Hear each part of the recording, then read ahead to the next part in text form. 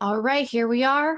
Welcome to the class, How to Become a Space Weather Watcher with myself, Alexis of Ascension Diaries. I'm going to be leading you through this short class. And at the end, we're going to be doing a question and answer. So thank you to all of you for attending the live class. Much appreciated. And for those of you watching the recording, I can't wait to read your comments. I'm always on standby.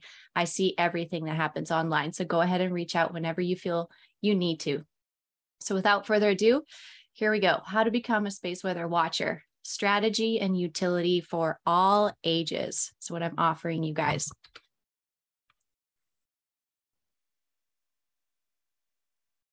I want you to again write down your questions for the end of this presentation, those of you watching.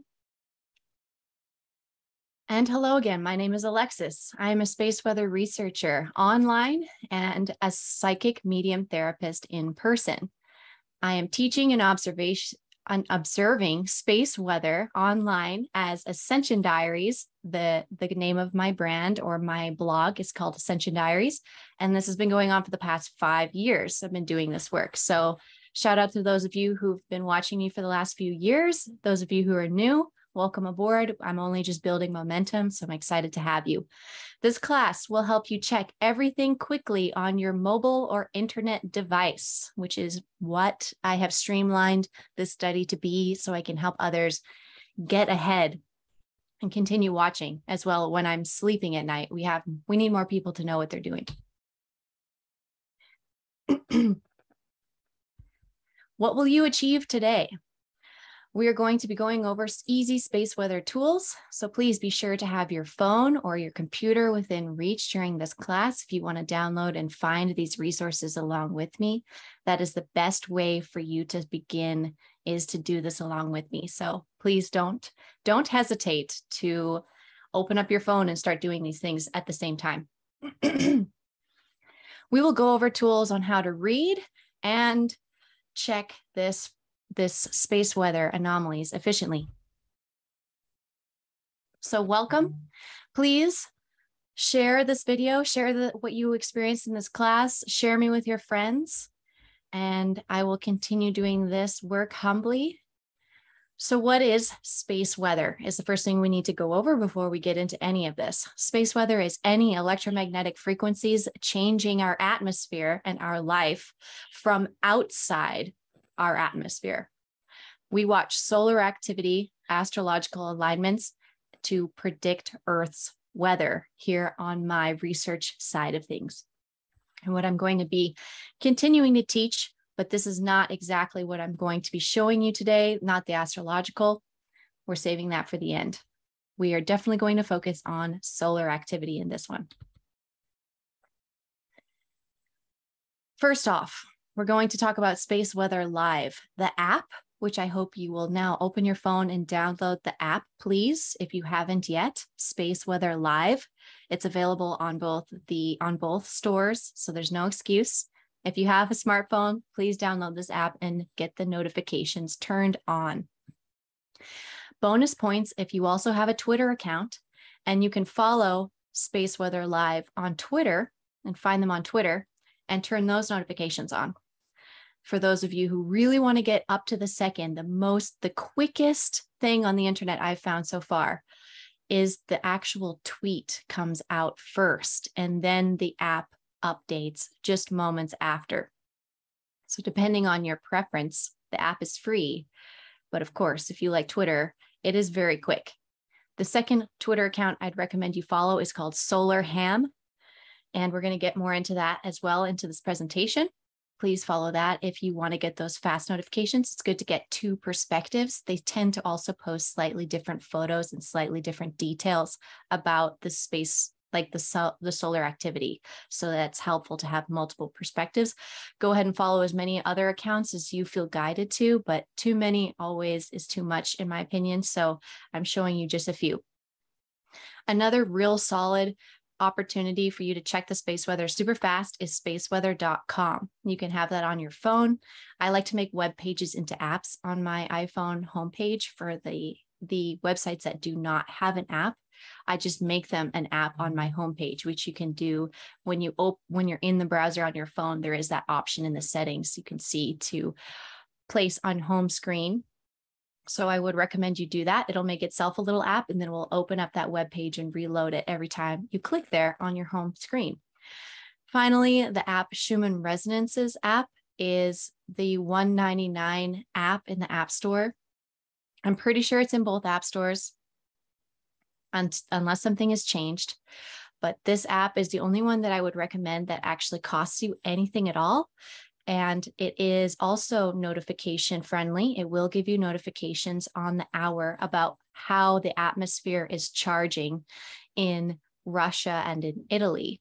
So we want to know why the atmosphere is charging for the continuance of knowing when the solar activities actually landed on Earth. It will charge our atmosphere. So let's get into that. So please go ahead and get those resources.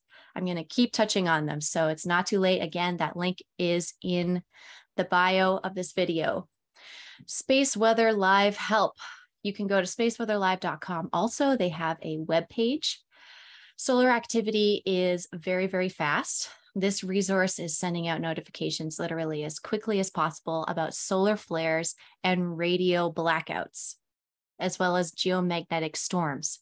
But we need to know about those flares and blackouts because that's the quickest thing that happens. Here we go. Solar flares. This is what this is the moneymaker. This is what we all need to know and feel comfortable with because this is what we really are guarding our conscious mind and our innocent loved ones from the awareness and with the awareness of these solar flare changes. Now, something I didn't write here, but is extremely essential before I go on is that we are currently in almost, we are approaching the center or the most potent part of our current solar cycle. So you can see here on the left, the solar flares are dependent on planetary arrangement is one big thing. So those of you getting into astrology, there's a reason. We need to know we need to know what the planets are doing at all times because it's extremely helpful to predict when likely there's going to be solar flare activity. Then we take it another step up. Most people don't make it to this step, but interstellar arrangements between the other stars and in our galaxy and those sort of cycles as well are also something I'm beginning studying as a way to predict solar flares. And then finally, here, like I mentioned, the 11 year solar cycle this 11 year solar cycle, they say, started around 2020. They wanted to say the newest cycle kind of started around then.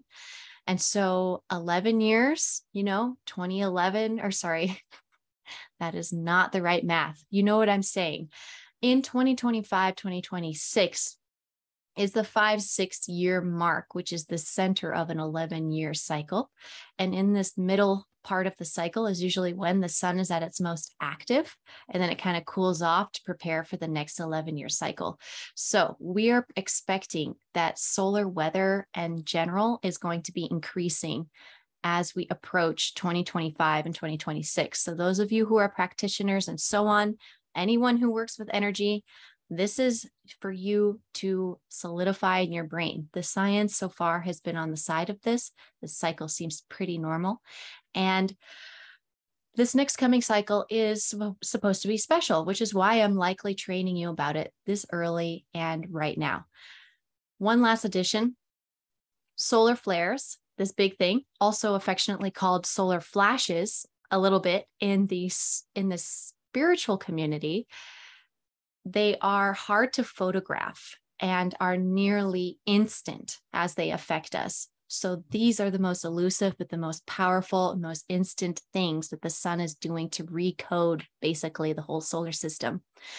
When it's flaring, can be due to the other planets and the other stars.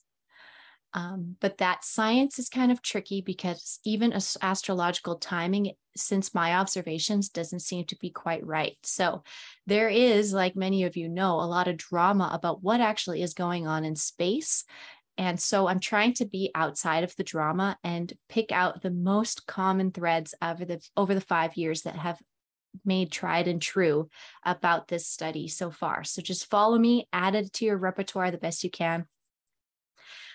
So we measure these flares or these flashes with X-ray bandwidth. Now, there is faster frequencies that are coming out of this. The, the flare is pretty much multidimensional light, according to my opinion and my verbiage and my understanding. You could also go into the quantum direction, but I prefer saying it's multidimensional or full spectrum light. And that is an arguable thing in the science right now we as civilians and through these apps observe the flares from classes. They class the flares with the X ray radiation that it hits. So, although all those spectrum of light is leaving that flare in that moment, what earthlings are mostly registering and these apps are telling us about are just the X ray radiation band of this flare. So, there are classes and we're going to get into that, that they measure the X-ray radiation to show severity from C to M to X. So if you see C flare on your app, you're going to know, okay, well, that's the threshold. That's where we start paying attention. And then when you see M, that's when you know things are getting serious. And when you see an X, that's when you know that you're making history because those are not as common and they are going to continue getting more common according to the science towards 2025. So, really, I'm training you to be X Men in a way. I'm training you to be able to surf these X class flares and use it to your best benefit because that's what I've been studying since basically the second half of the last solar cycle. I've been preparing for this. So, some of the largest numbers ever recorded, I wanted to tell you, are X flares up to an X28 back in 2003. They could have, I was even reading that some of them were arguing it could have been an X40, which I have no idea how that's even possible, but it is.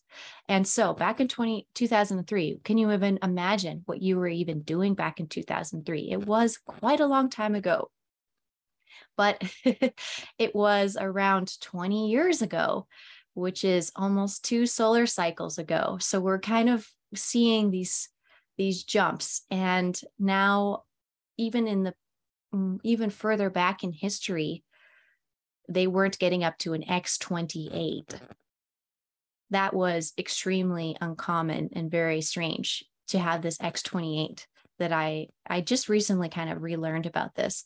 So this is a big deal, something like that, eh, but we lived through it. Do we know exactly how? No, but we did.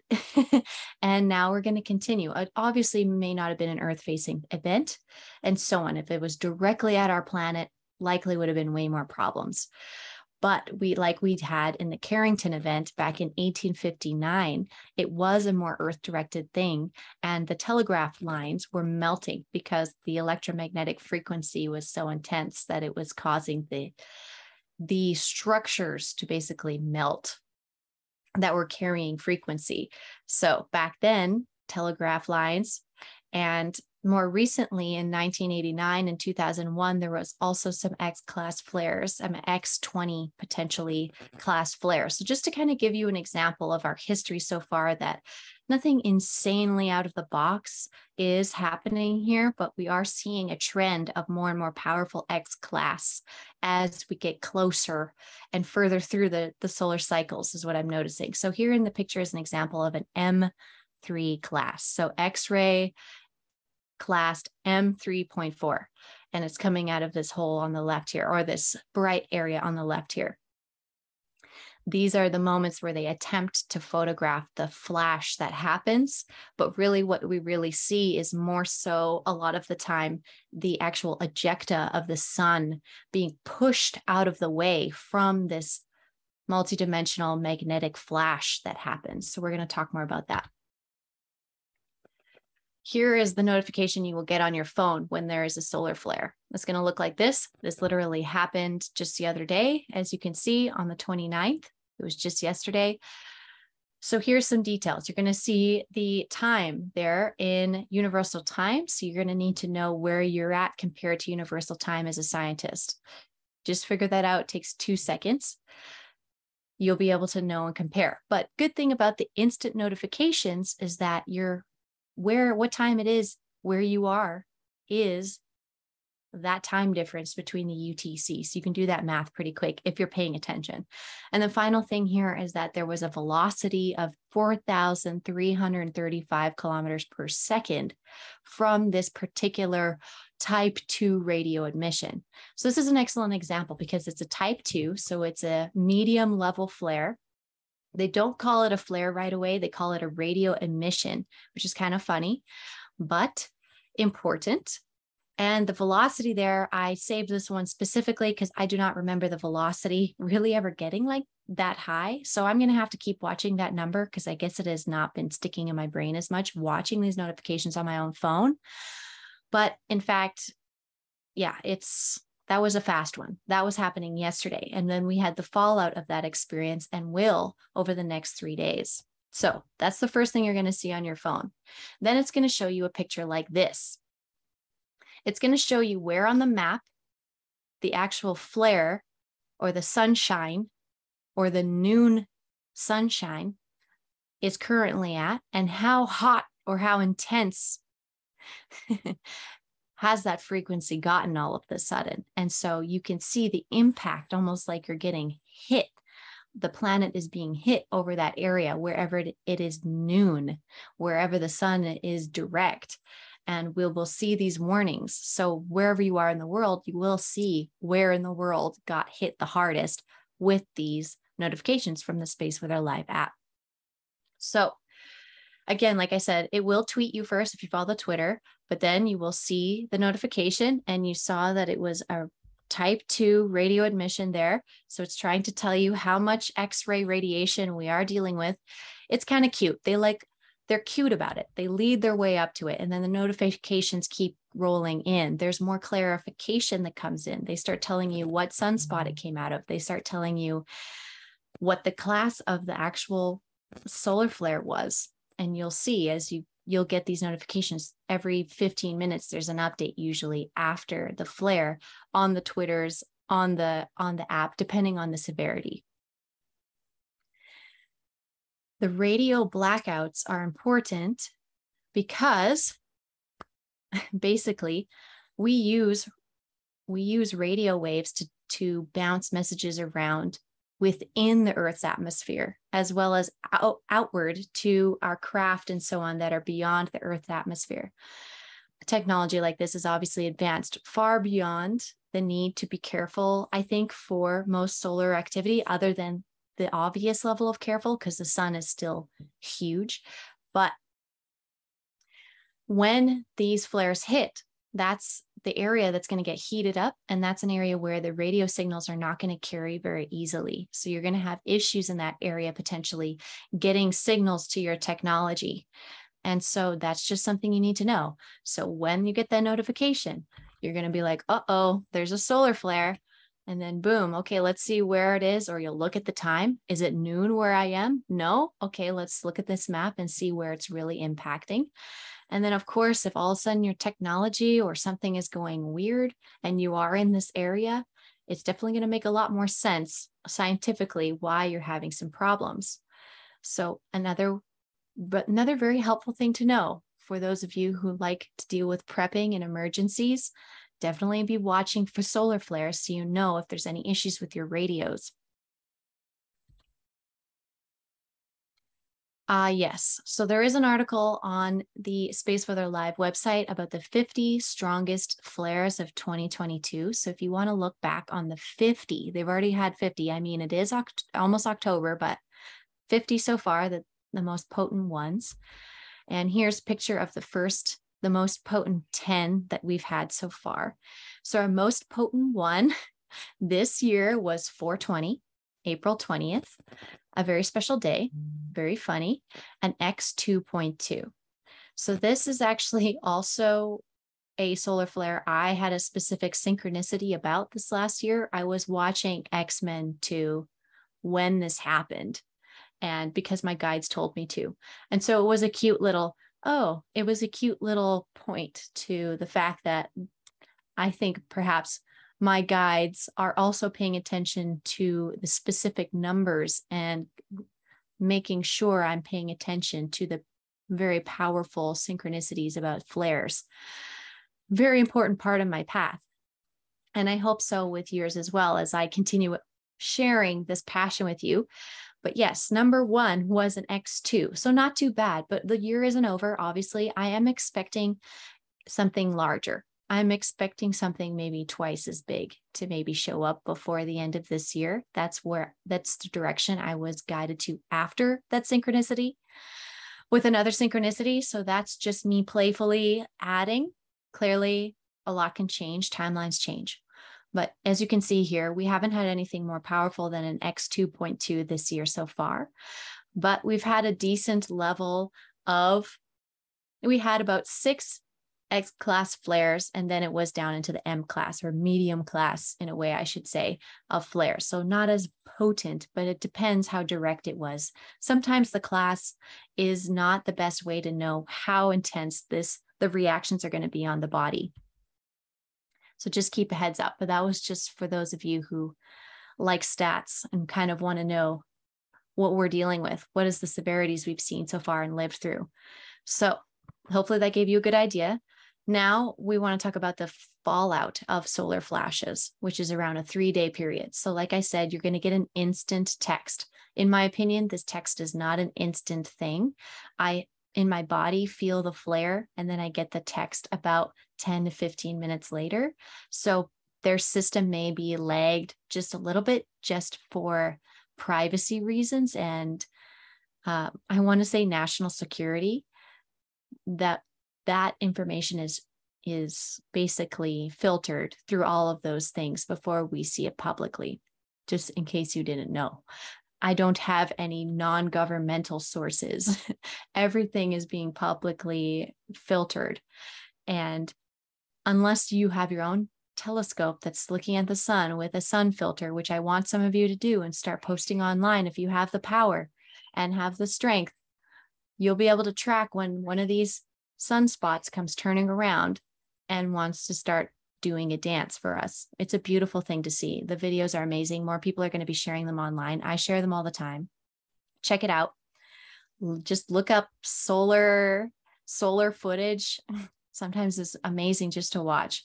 So, we need to talk about the fallout of solar flashes because even though they're super quick, what shoots out of the sun out of the way, kind of gets pushed out of the way when these things happen too, is also stuff we have to deal with for days afterwards. We have to know first off where these flares can can can come out and then when they do then we can deal with it. But basically we have to know what the conditions are for a potential flare and then we will know also 3 days after how things are going to go so first i'm going to show you quickly where solar flares come from they come from these sunspots if you can see. So you will see the photography. You can literally see these on the sun if you have the proper filters and so on with your own telescope. You can see these dark spots. This is actually happening on the sun's surface. There are dark spots happening. And so in these areas, the magnetic field is actually breaking through the mm-hmm. corona. And so it's extremely magnetic area. And sometimes it's polarized in one direction positively or negatively. And sometimes there are positively polarized storms that turn into these red dots. And then there's these negatively positive, or sorry, negatively charged storms that are these darker colors. And if a red storm and a blue storm in this condition over here, you see they're kind of close together. If the red storm and the blue storm are a positive and negative node or a sunspot, gets close enough together, they will reach out to each other. If you can imagine, magnets do, and they slam together. The energy will slam together in a way from and come out of these these sunspots and slam together and make this flash. And this flash, like I said, will it then eject out all of the solar plasma and so on and all these charged particles and frequencies out towards out into space basically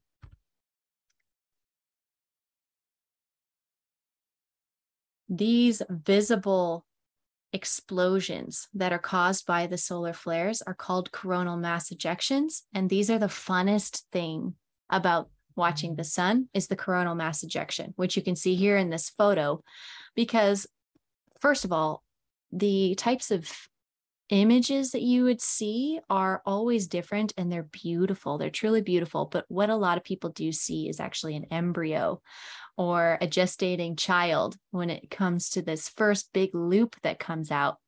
The loop will come out and then it will break, and the shape will break. It will change shape, of course. Sometimes it doesn't. It kind of shoots out almost like a big loop or a big ball. It's very fun to watch the video footage of that. I share that all the time. Again, the resources for that are in that Linktree, and you can see the coronal mass ejection movies and the link you will see. And those will load, and you can watch those every day because that'll also give you an amazing idea about what is heading our way. So, these big protruding arms are full of plasma and so on, lots of charged particles these particular ejections, they don't need a solar flare to come off the sun. There's enough activity that is beneath the intensity of a flare, but enough to still shoot off these coronal mass ejections. Mm-hmm. I've noticed it also can happen when it seems like our, our own sun is meeting some type of resistance as it is rotating through and with the galaxy, it seems like our own sun will go through certain more dense areas of space as well. And I can witness it seems like the sun is getting impacted as it's flying through, and it's causing more of this off gassing and these these mat these ejections to kind of come off. It's almost as if there's too much pressure and it's it's relieving the pressure from the oncoming uh, tension of the heliosphere, which we're going to get into.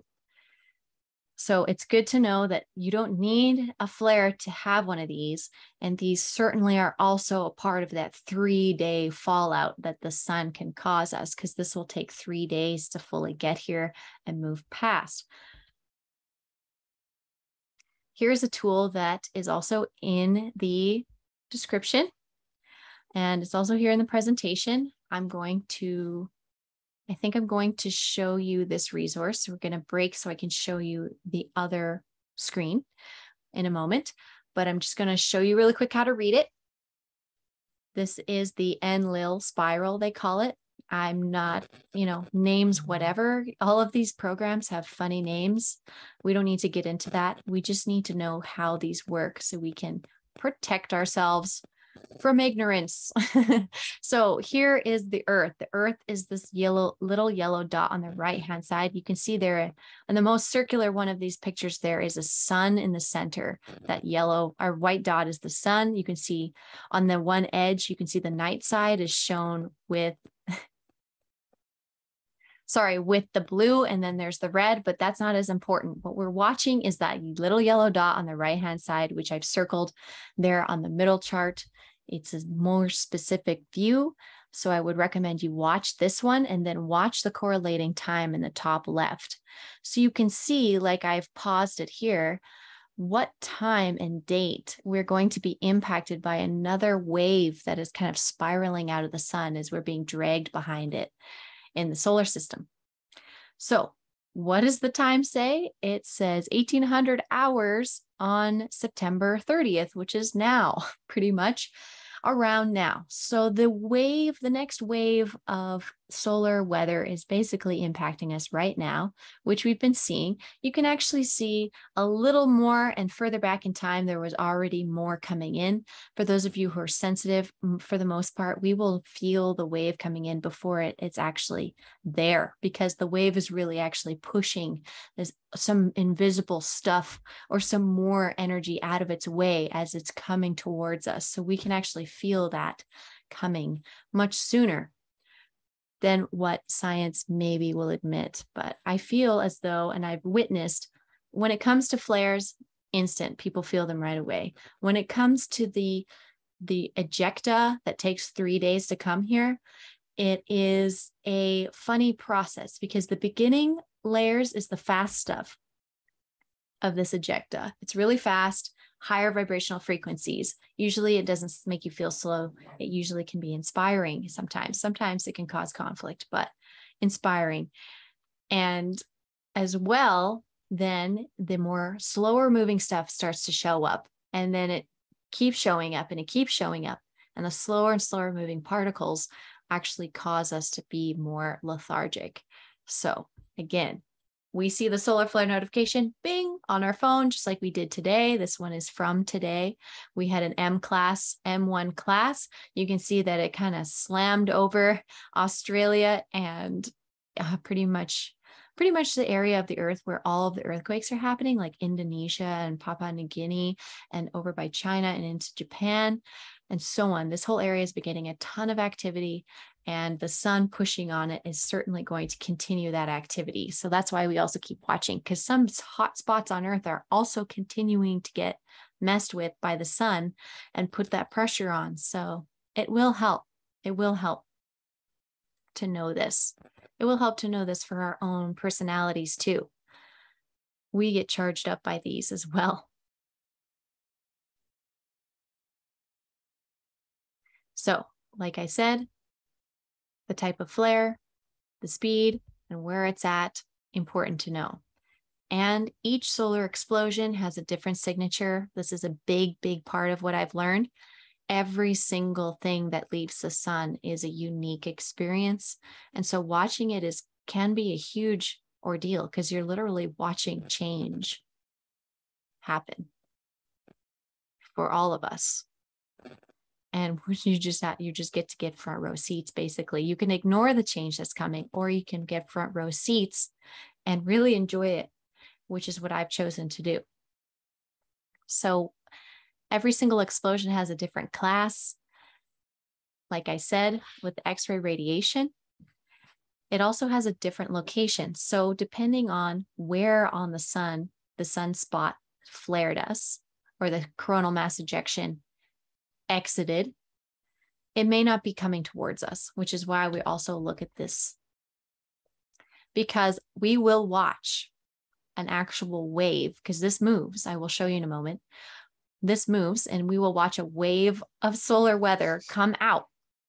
And you can see it's either going to go towards the earth or not. So this is an excellent this is an excellent tool to know when you see a flare on your thing. Check this tool after and be like, okay, what direction did it actually leave? And I'll be honest with you, this one doesn't update very fast. So give it a couple hours. Mm-hmm. Give it a couple hours to check in on that. Maybe not a couple hours. Give it give it a good like half hour maybe it should be updated. You'll see. You'll see. And then it updates fast as well to hide the old waves. They push the time forward and forward and forward. So the three day fallout hasn't even been over for some of the waves, but the, they're no longer on that graph. So it's good. You have to keep watching.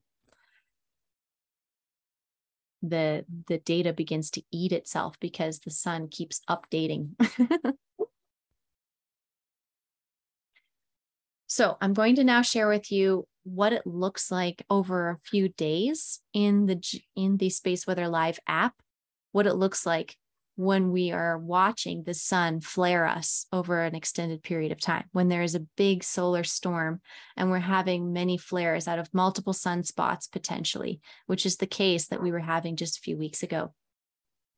So here is an example of our current conditions. This is really happening for us right now I blew it up as big as I could so you could really look at it. One thing I want to direct you to first before we get into the data reading is I want to show you areas along this jaggedy line you can see here where it cl- clearly jumps, like there's missing line. All of a sudden the line is gone and then it comes back and then it's there and then it's gone.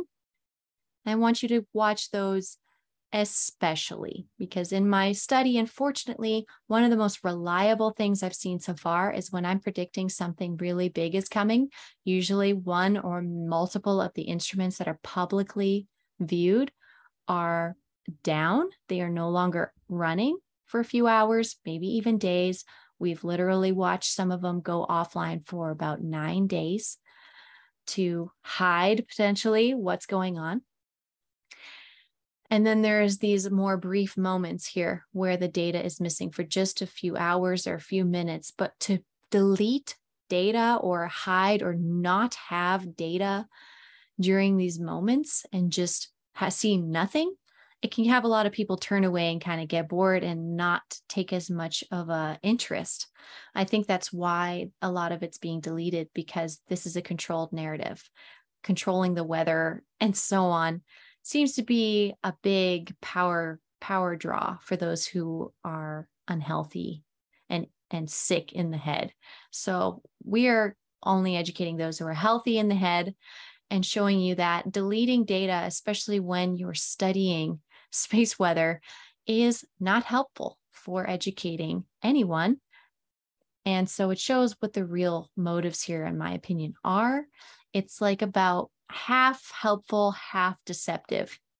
So everything you read online when it comes to material and data, everything, everything, every book, every paper, no matter how fancy, no matter where it comes from. It can, there can be lies, there can be things missing, there can be omissions, there can be slight changes to make things seem less, like mm. less in some directions. Basically, controlling your emotional response is what I'm seeing the most. The emotional response of humans on earth, I think, is the most controlled thing. Because emotionally when you see a flare you go oh my gosh and you're you get activated. Anyone does. When i tell you oh there was an x class flare on 420 this year what do you think? I think that's maybe a little special? Does that make you think oh that's interesting. It gets your wheels turning in my opinion the science uh, wants to try and stay as private and non-interesting to us as possible but that's not where I'm at and that's not where you're at. So I want you to watch whenever there is missing data because you may be right on the nose of an actual event that has happened. So watch yourself when you're like feeling the guidance. I'm going to open up and check the space weather right now. And you see that there's a missing chunk, like we can see here on September 29th or September 28th or September 30th. We've got some chunks missing today, right after the M class flare there's a whole chunk missing. Now, does that mean the equipment like broke down in space? Like the satellite just couldn't take it and stop recording for a few hours? Potentially. Potentially. Or does it mean that maybe it went boom and hit a huge flare afterwards? We don't know. We literally cannot tell you because it's gone. And there's no other place on the internet I've found so far that has undoctored data about this. Help me find it, and I will give you a free shirt about space weather. So that is appealing to you. Help me out with this data. Overall, though, what you can see is these color bands at the top is the M is the yellow, orange is X, red is X, basically X10, which is the next level of severity. Now, we may be seeing some stuff going into this level if they don't cut the data out, which they could just continue doing forever. I don't know. we will find out. We will, and I will. You may not want to, but I'm certainly going to find out over time. what we see with this jaggedy line, of course, you can kind of tilt your head and these gray lines going up and down. Those are the moments when solar flares are actually being reported. That's when the app is likely tweeting you, sorry, or notifying you about a C class or an M class flare. Those are the moments when you're going to get notified. But you can see that there's a lot of movement when they aren't notifying you between those gray lines. There's a lot of activity that you could watch. And also, I want to note that most of the activity since the 28th has been in this orange line, which is in the C class range, which they don't color code. It's just white on the background here, but the line does get color coded to orange when it goes into C class. You can see here as it's going down into B class, which is the next stage of quiet. X-ray radiation, it kind of goes into the green zone. So that's when the scientists are like, "Oh yeah, that's when we're fine. When we're in a B class sort of re- X-ray radiation, that's where we're in the quote unquote green zone, right?"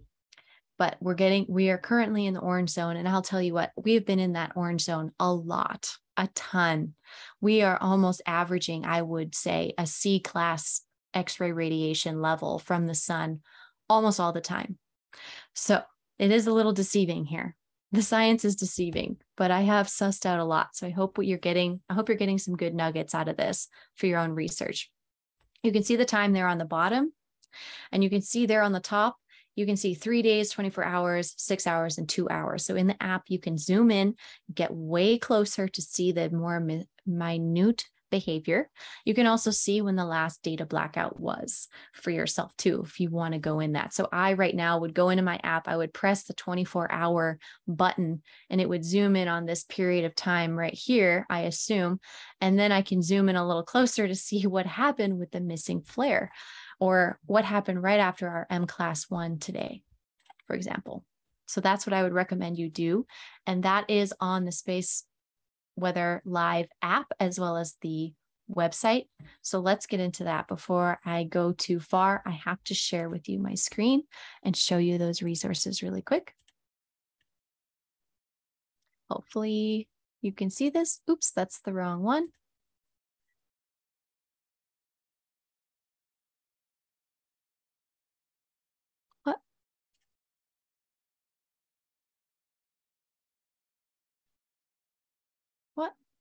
What has happened?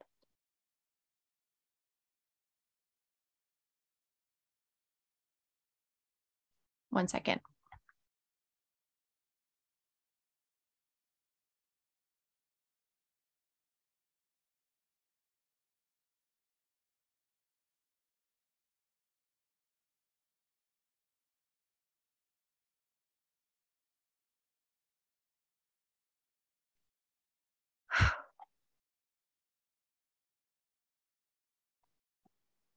Okay.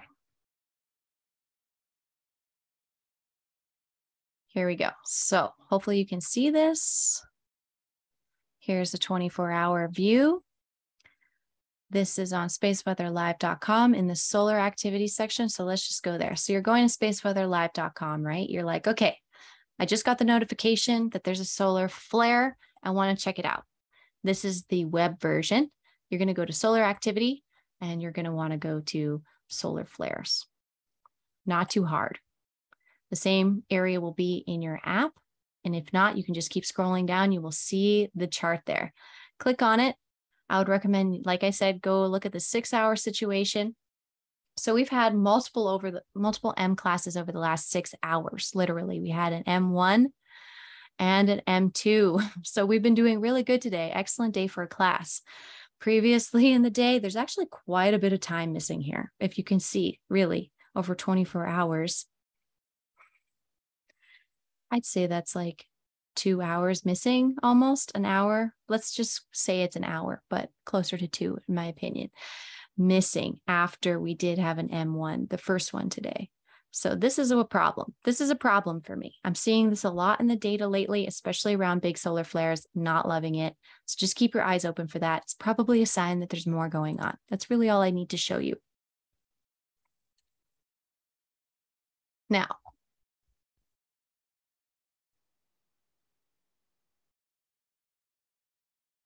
sunspots is another thing you weren't going to want to look at. When there is a flare, it's going to show you underneath where on the sun it came out of. You can see the region here. Every sunspot is labeled. Unfortunately, it doesn't look like they have the proper labeled photo here. But when you do click it, it will show you what it looks like, what the sunspot looks like. This is the one I was showing you today, for example. It's gotten a little more complicated. So these two are flaring against each other, it looks like, just like the science was proving, and I was showing you, we have successful proof that this region indeed was flaring today. So a successful flaring region for me to show you.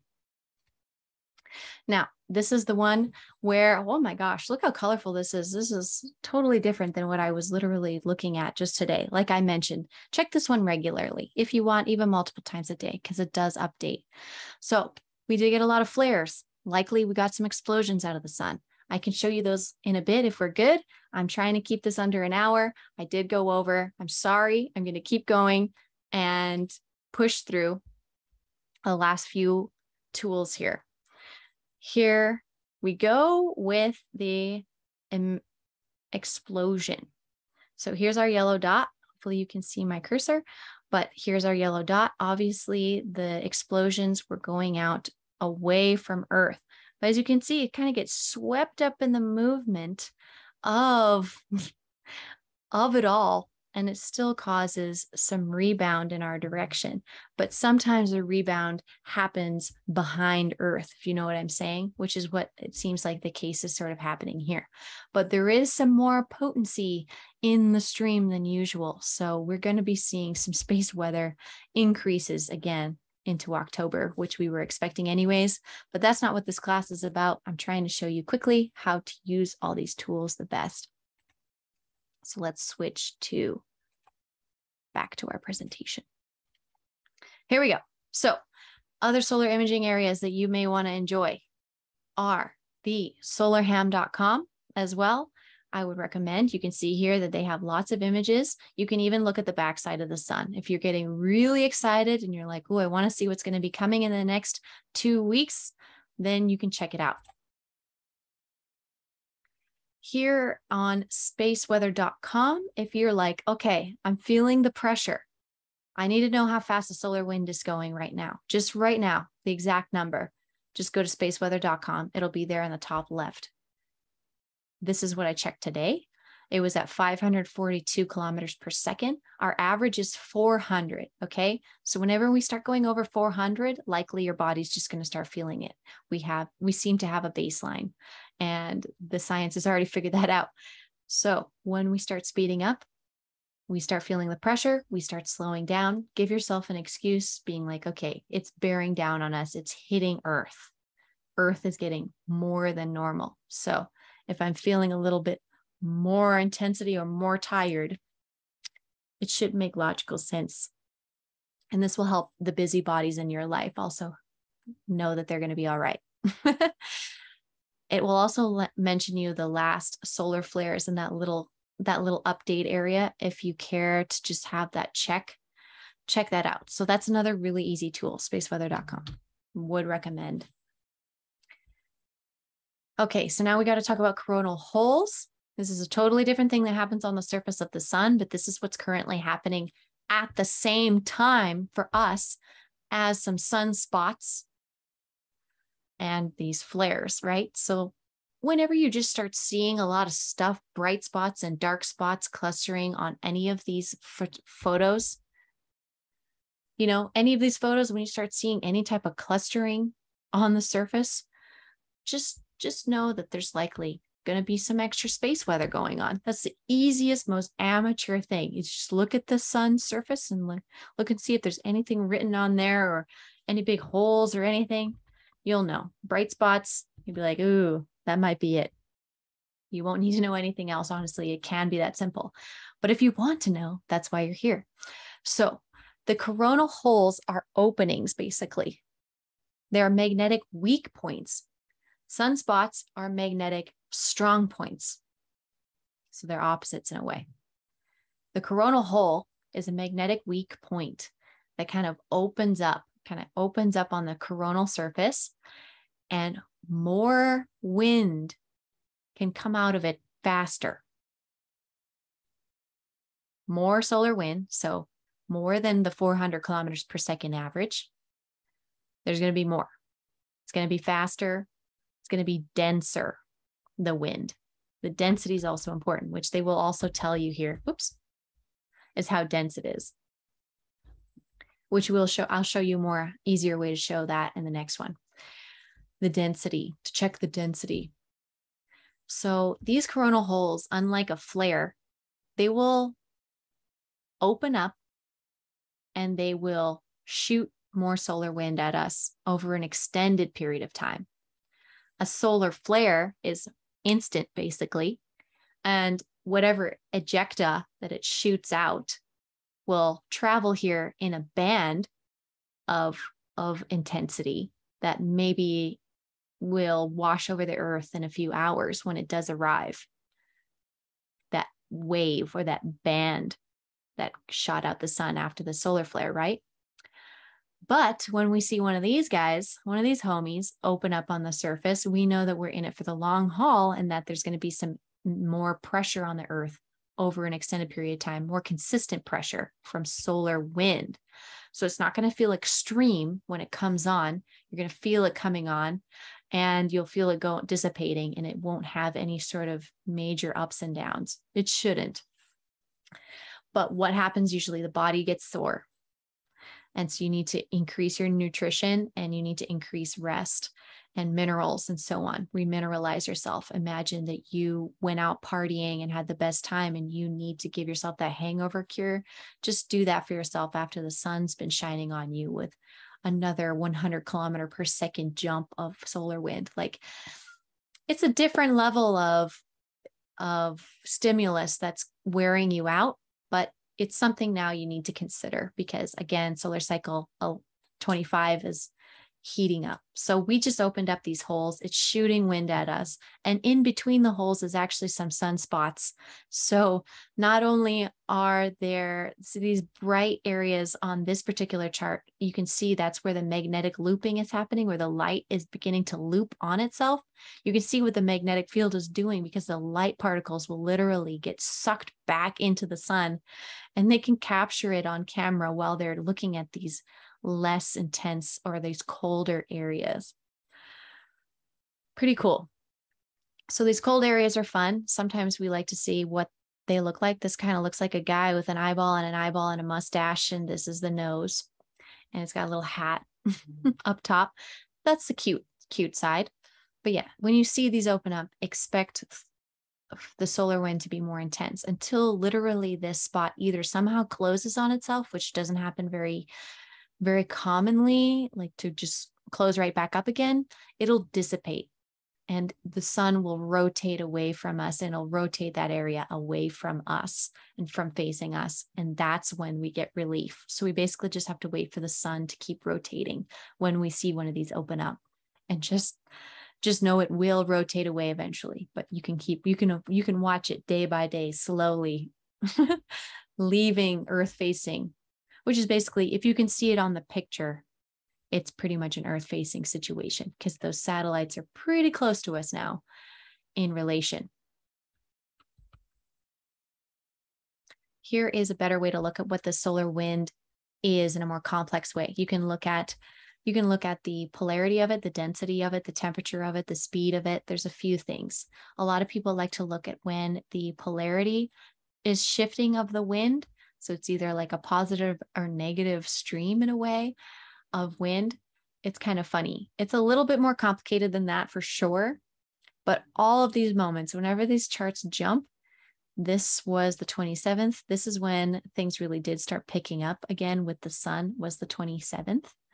So you can see here that we had a change in the nanotesla. We had a change in the polarity here very brief changes too, went back to normal. Mm. Very funny how that happened.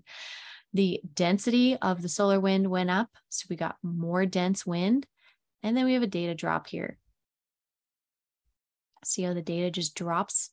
That's not normal. That's not normal in any data, just to drop all the way down out of nowhere. It's like that solar wind just completely ended and went back to wind speed, wind speeds that are below average for the sun, which is basically impossible. So that is a data drop in my opinion. So we got to look for these too. Don't be like, oh my God, something crazy happened. Something likely did happen that was noticeable, but the data is not reflecting it properly. So you can't interpret that. You just have to basically claim, oh, there's an anomaly here, likely because there was some type of extreme space weather. It's very possible.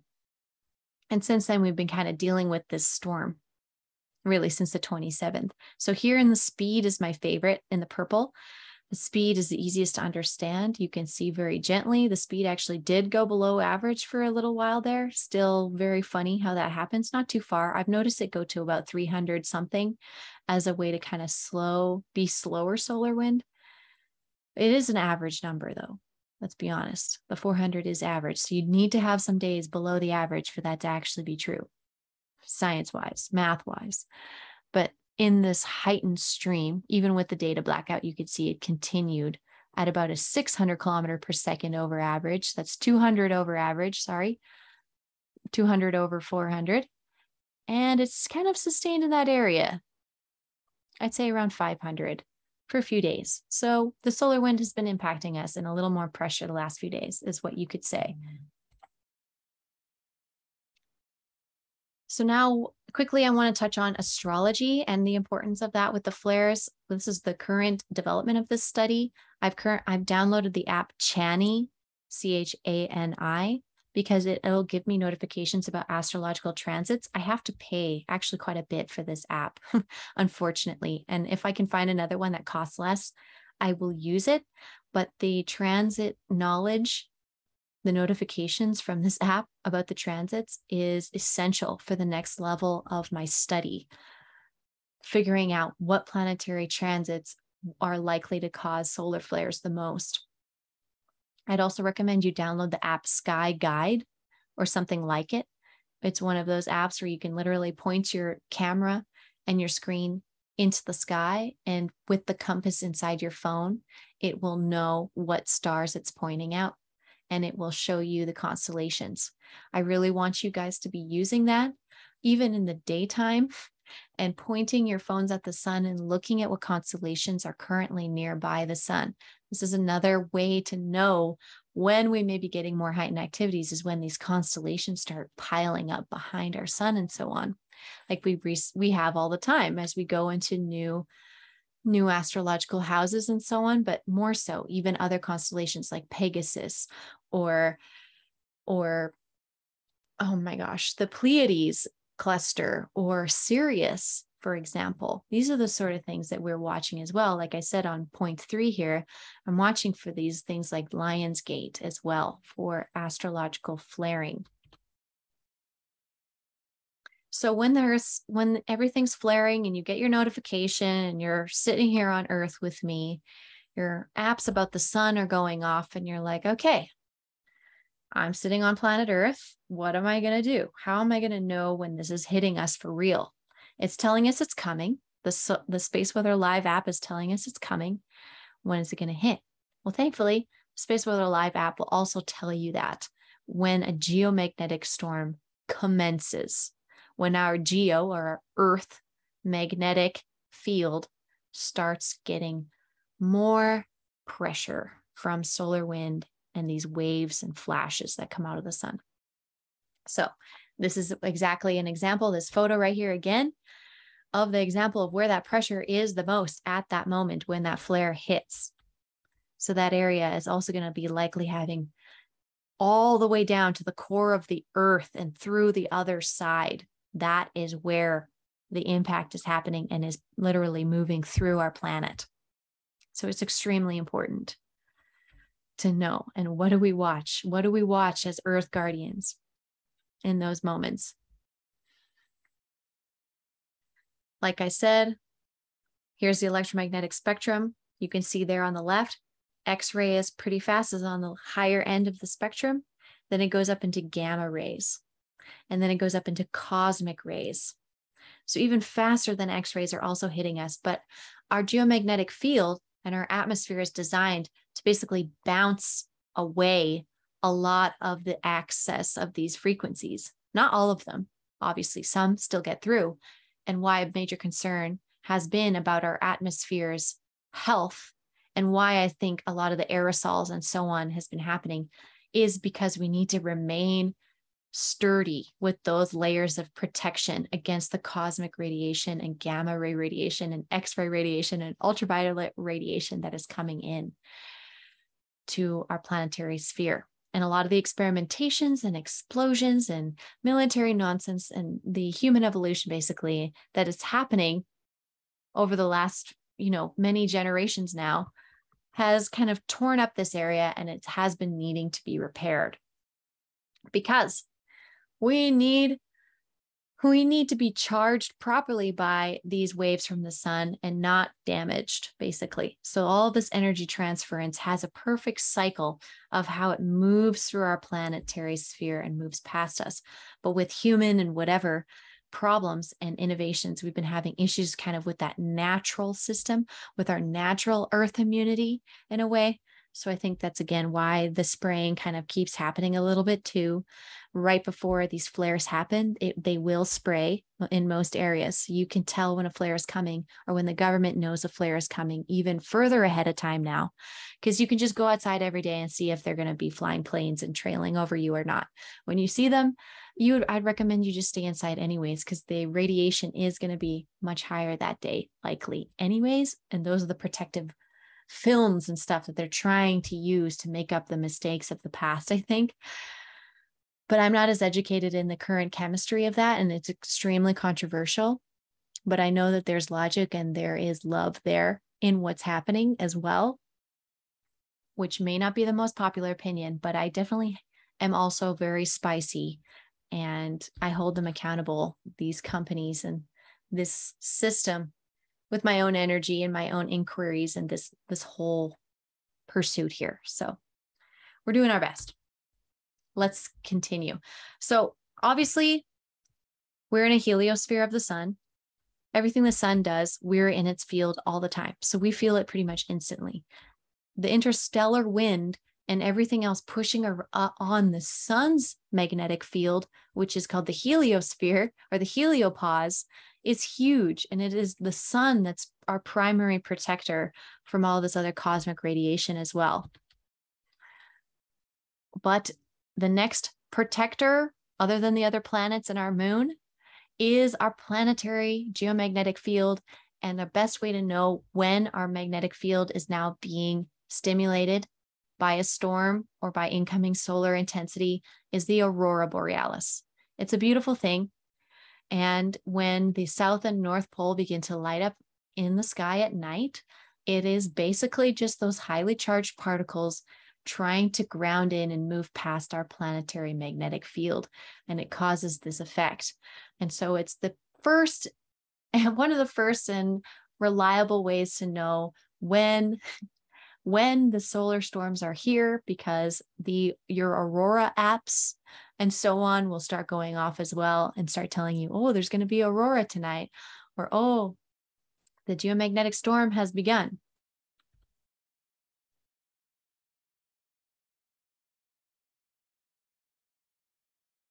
Can i click this? Oh here we go. So here is another wonderful tool which is in my resources. This little guy. I don't know if you guys know a girl in the universe, but she likes to use this one to show us when the energies are hitting Earth. Very popular blog that's kind of come up in the last couple years. She focuses more on this and when the wind is coming in on us and causing this all to light up in red. Basically, right now, what we're seeing is actually very timid. This is currently our conditions. So here is the bow on the right hand side. This is literally the geomagnetic field of Earth getting pressed down on us. We have this bubble way ahead of our planet, which is here in black, basically. Way in front of our planet, there is this magnetic field that's invisible that is pushing outward and catching all this stuff, all these particles, and it pulls what it catches into our poles, and that's what causes that light as well as there is the a shock wave in a way behind the planet where the energy will gather also. And that's where a lot of that heat and so on will show up. That friction actually kind of shows up behind the earth. A lot of it in front for sure but a lot actually swoops in behind as well to kind of close close the gap as that wave is moving around us as an object it's fascinating. So you can see there on the right hand side, the bow or the light side or the sun side of the earth is being impacted right now. So if it's sunny where you are, this is the conditions that we're looking at. Does that make sense? I hope so. Okay, let's continue. We have a certain classification system now for when these storms hit us, when that pressure starts coming around us, when our magnetic field starts to get pressed in around us, that's when our app goes, Hey, there's a geomagnetic storm happening. Or your Aurora app is going, Hey, the lights are going to start turning on tonight. Like it's going to be a good one. They are classed in different ways depending on what app you're watching. You could you could be seeing a G1, a G2, or G3, or geomagnetic class one, geomagnetic class two, geomagnetic class three intensity. It goes up in intensity. So when you see that little notification, you'll know how serious it is. Usually we only get a one or a two. Three is pretty rare. Here is another chart here that is really helpful to show us exactly when and how powerful that pressure is. This resource is from Boulder, Colorado, USA. This K estimated planetary K index. There's other ones in other countries, depending on the apps you use, they will show you other places. So, depending, of course, if you're on the night side or the daytime side of the planet, things are going to be a little different in your atmosphere and the pressure is going to be different from the solar wind. Definitely worth your time to download these apps so you can get these warnings. Ooh. Okay, so just so you know, for this little chart right here, you can see there on the bottom is time. You can see the dates. This one is from May, an example. You can see there on the left, the KP index that goes from zero to nine. That is the other index. So it'll tell you geomagnetic storm G1, and then it'll say KP index three or four. Usually it'll have to say four is when it starts getting into the yellow range, and that's when we start getting notifications. So we won't get any notifications about geomagnetic storms until we see start seeing the KP index hitting a four, a five, a six, a seven, eight, nine. Under a four, you're good. It's a little bit hot, but you're fine. The storms are hard, understandably so. My own body, I've been training it for years to actually experience the flares in real time and experience the solar wind coming in afterwards. Usually, my way to know is when I'm really inspired to actually do stuff with my life and my physical body or if I'm really inspired to really work through a conflict that I have been kind of avoiding, usually through um, verbal back and forths with somebody. And it can get heated for sure. But you can blame the flare because usually you'll get to a point of heated sometimes where even I'm like, this isn't me. What this has never been my threshold of experience. Like, what, why am I charged up? What's charging me up?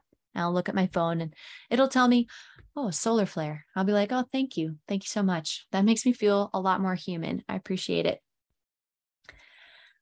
When all of this earth matter is rolling past earth, I'm sorry, when the sun matter, the solar matter is rolling past earth in these waves, or in the case of its coronal hole, just shooting more wind at us and this open door policy basically on the surface of the sun, just going for it we are going to begin getting pressed down on, like I've said so many times, and you're going to be tired. So, guardians, I'm directly talking to you now. The cascade of events from astrological to solar cycle to seasonal atmospheric changes are sort of what I'm training you to do. Training you to be aware of. I want you to know the seasons. You know, we just had a seasonal change and I want you watching the astrology with your your transit apps and I want you watching the solar weather and I want you watching the earth impact apps. So I gave you all that stuff in this presentation. You will be getting a copy of this. Please rewind and pause and get that stuff if you need those resources. Reach out to me if you need me about that. And I'm just here to help those who want to help the innocent and support those who are having a lot more symptoms during these heavy storms and feel more confident with the verbiage and the lingo and the resources you can point people at. You don't have to be the spokesperson. There's already spokespeople out there. Just send them in the direction and get them the help they need because a lot of people are struggling with this and it's going to continue, in my opinion, up to 2025, which is why I'm training you. So, lastly, when the geomagnetic pressure comes around us, we start getting the KP index going off, the aurora borealis is going off. Okay, is that it? No, obviously. Then what starts happening is lightning starts to happen. everywhere, pretty much, as this literal electricity from the sun is grounding through and past our earth, is causing all of this discharge of these positive and negative ions and from the surface of the earth and from the atmosphere this constant smacking of lightning while especially the space weather is moving past us is charging up our atmosphere which actually makes noise. It actually makes a sound.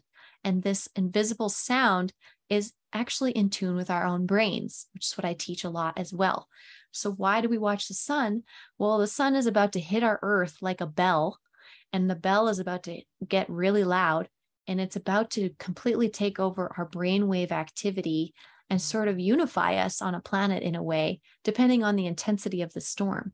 But isn't that funny as a I want to say immune response potentially when the sun is hitting the earth so hard, all of a sudden, all mammals on the planet, all their brainwaves are going to start syncing up and getting into awake action mode. And potentially to their most heightened state, which is basically transcendent transcendence in your mental space in those gamma brainwave states. And for us to be in those states, I think we will have a great level of coherence and could be able to handle more issues that may be coming on in that moment. So that's a beautiful thing. Another beautiful part of nature. This particular Earth song is unique because we have an atmosphere. Other planets have atmospheres though, so they actually also have a song too. So I used to call this the Schumann resonances. That's what science also likes to call them. And I've popularized this term myself with hours and hours and hours, years of time. I then learned that this person may have been a very, I mean, clearly naming the Earth's song after some random scientist is a dumb idea, in my opinion.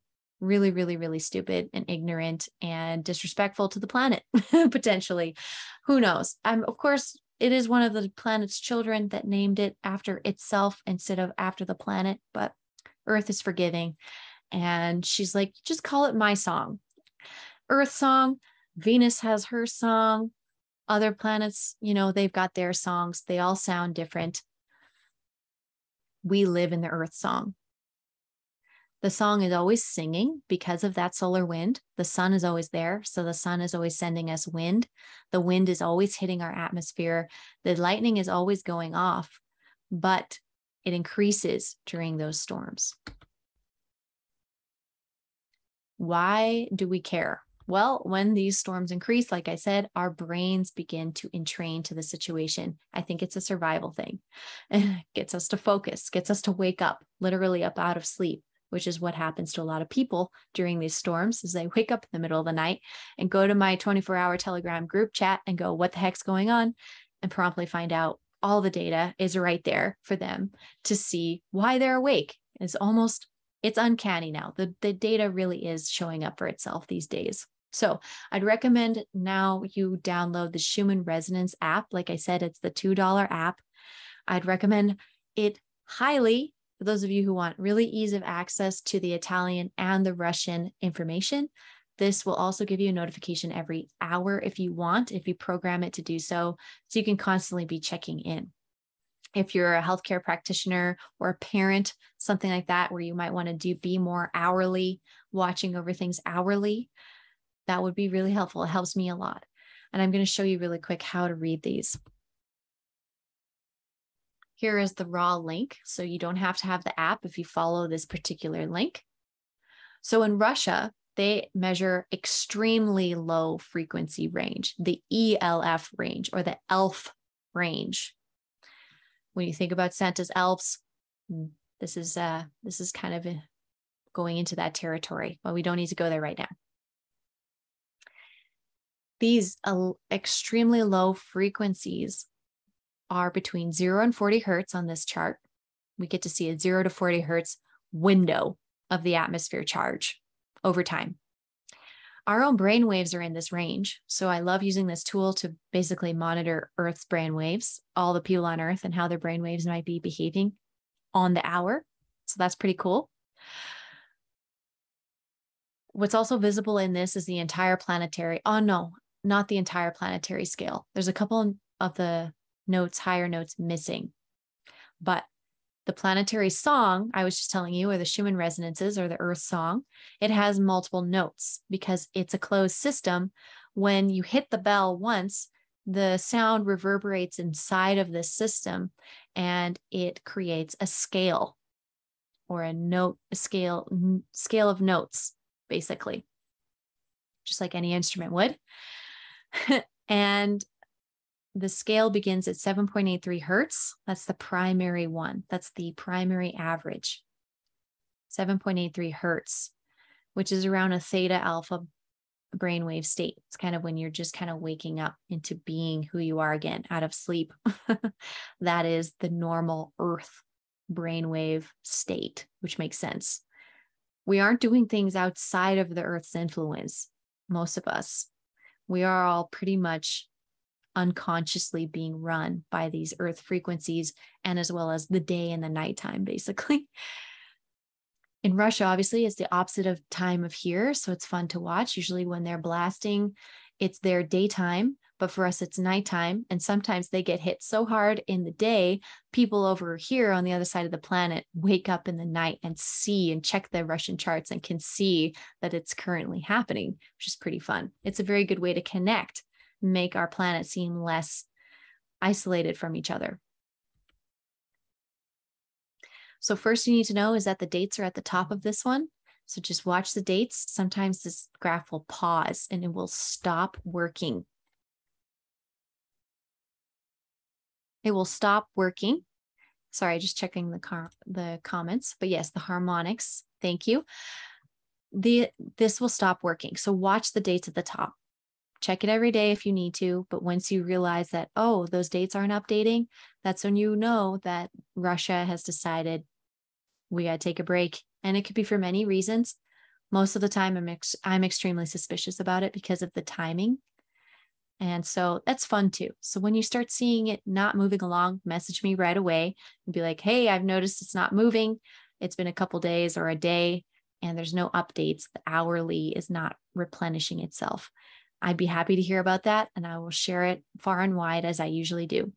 There on the bottom is the times in universal time plus seven. That's where it is in Russia, in Tomsk, Russia is where this is measured. So this is the first info you need to know, the top and the bottom of this chart. Easy peasy. Why is this not going? Here we go. And then we need to know the frequencies and how to read them on here. So I flipped it over. This, whoops, go back. This symbol on the top right is actually hertz in Russian. You can see this can, this is the top of the chart is zero hertz. Nothing should be happening there. So at the very top of this chart, you can see it's completely black, just in that little section there.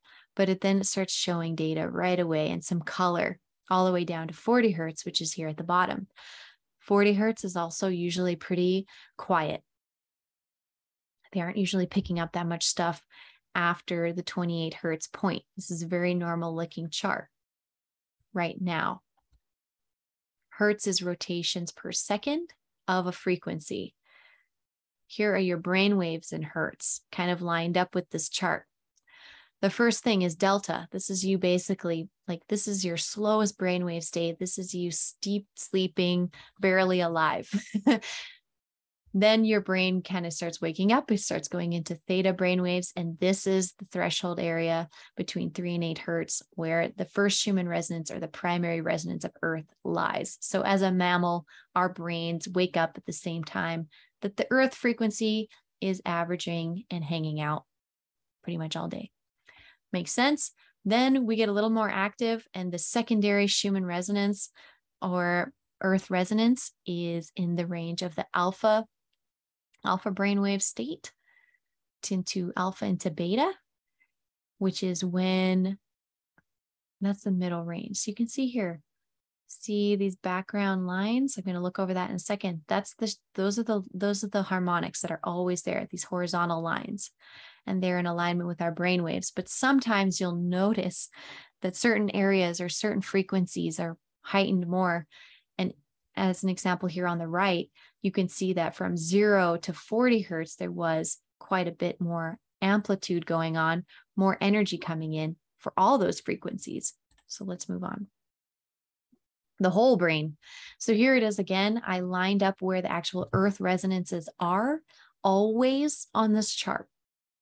They're always here, quietly running horizontally here in the background. 7.83 hertz, 14 hertz, 20 hertz, 26 hertz, 33 hertz, and 39 hertz, which you can't even really see on here. And then we have a few more 45 and 60, which is basically the most or the highest part of that harmonic. And then it kind of collapses on itself. So, as you can see here again, the brainwave of theta happens around the first frequency of Earth. The brainwave of alpha happens around the second frequency of Earth. Brainwave of beta is the third. Gamma goes into the fourth and fifth arguably, according to this chart, some people think that gamma starts a little bit later than 26 hertz, but we will just play with it for now, just as a basic. So you can see here in the background, these horizontal lines are always there, which is awesome. But there's also problems with this chart, which I'm going to quickly show you confusion maybe. As you can see, there are these background vertical lines. These aren't always here.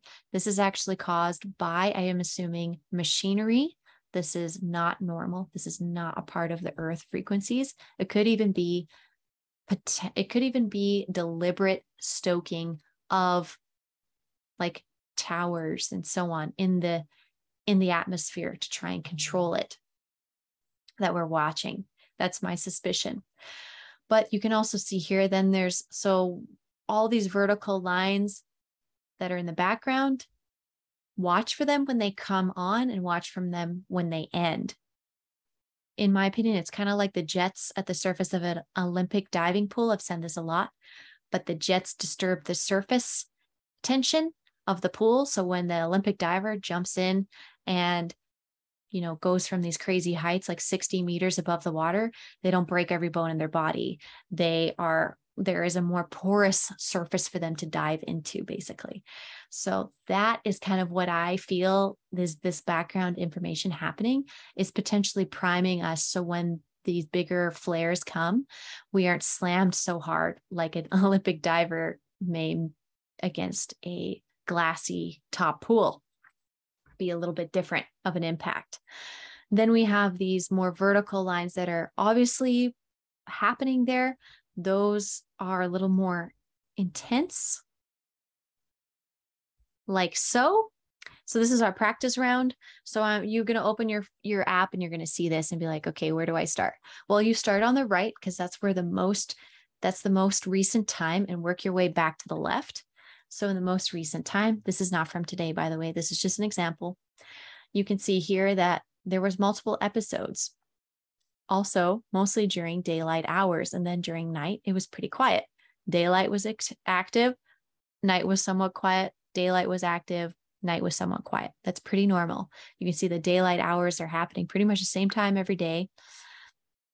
But over the here on the bottom, you can look at the times that were most active each day, and it does vary.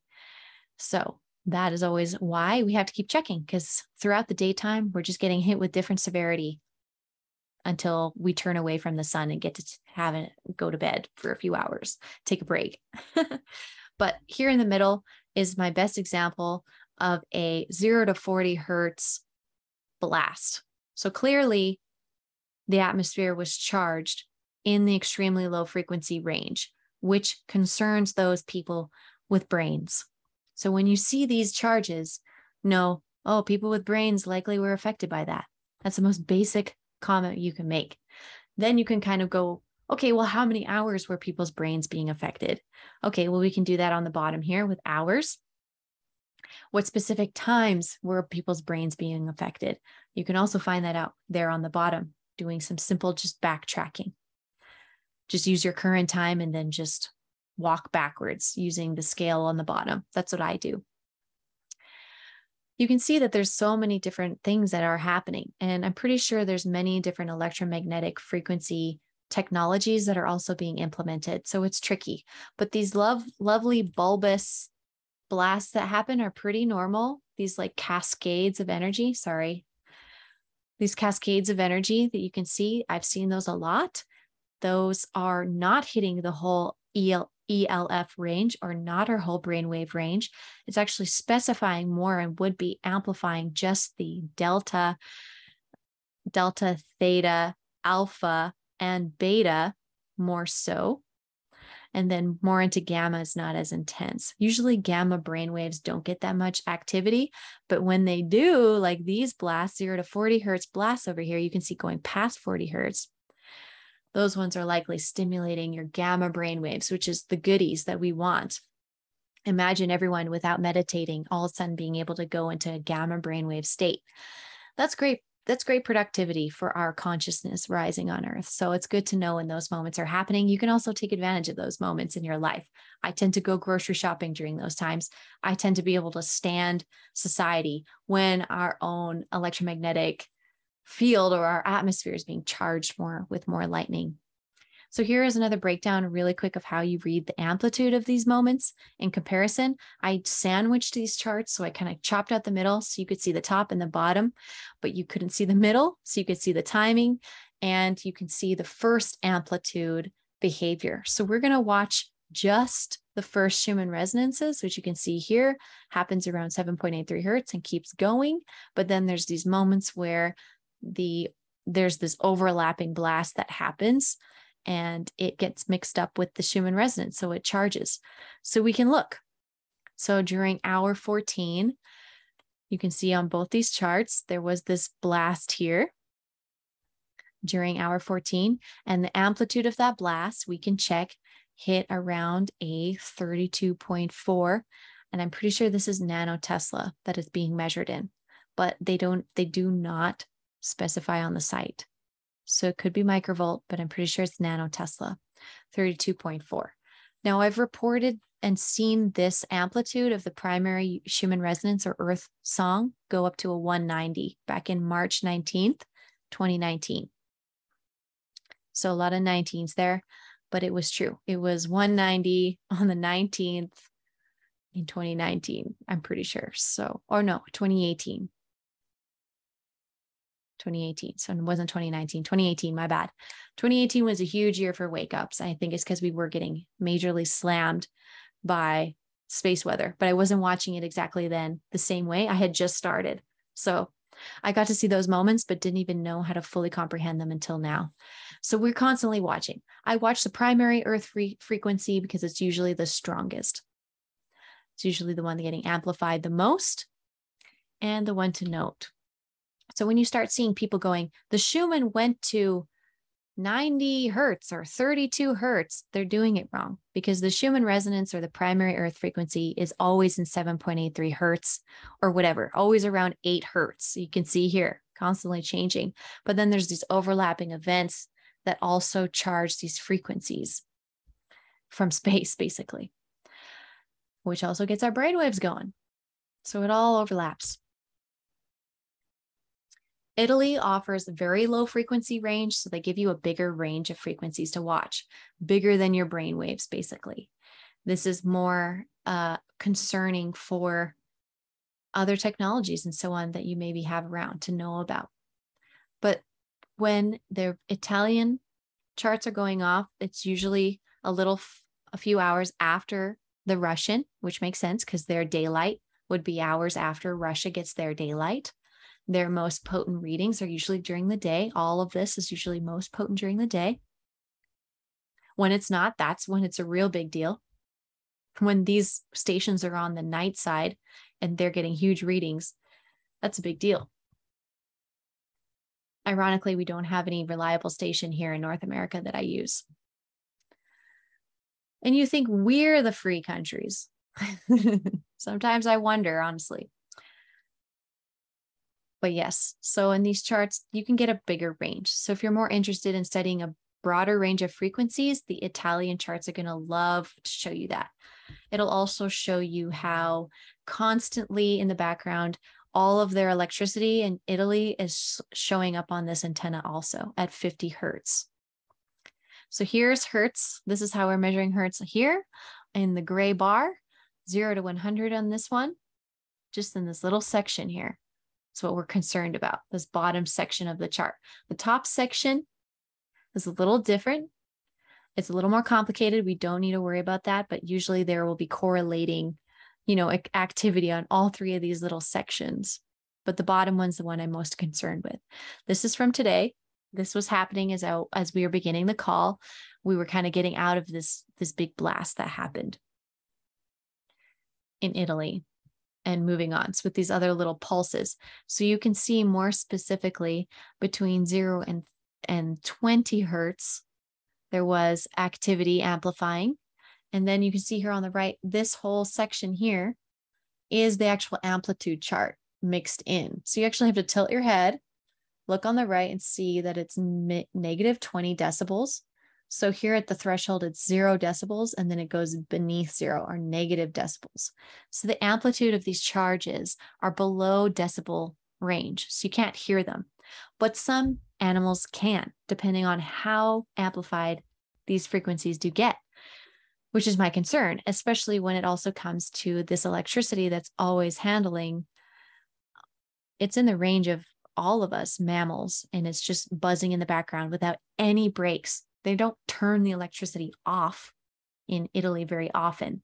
So, unfortunately, all of us, I think, are living in an atmosphere and in an area where we are subject to the electrical grid and in the background as well. So, I just want to make a note of that. And that's also why you need to get out of the grid so your body's nervous system can reset because it's constantly being pushed. Some of the nerves are constantly being pushed, and you need to let them uh, rep- replenish themselves. So they're just going to stop working basically. Here's a bigger range that the Italian, so there's multiple Italian charts. This is the second one here. This is showing you two windows of larger ranges. Here on the bottom is a range from zero to 1600 Hertz and how amplified it gets. Here's the decibels you can see. And then this section right here shows you between zero Hertz and 16,000 Hertz. So much faster frequencies. You can see here that there's some activity happening at around 9, 9,500 hertz for a second there. Very, very small amount. But why? And why does it stop? These are the questions you can ask yourself. Again, if you care, you're a guardian, you're curious, we want to know, I want to know, I get it. These, this info is here for you. You can monitor a much bigger range with the Italian charts in the Schumann Resonance app.